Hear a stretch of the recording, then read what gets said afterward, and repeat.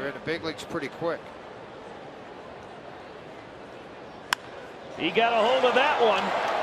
And the Rockies are on the board. Touch 'em all time for the kid from Bama. Josh Rutledge gets number six. And it's a six to one ball game.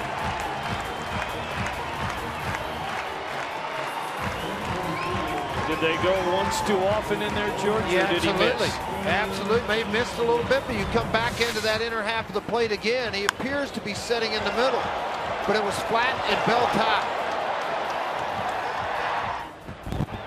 Check the fly to the baseball here. You can see more of a line drive and about 12 rows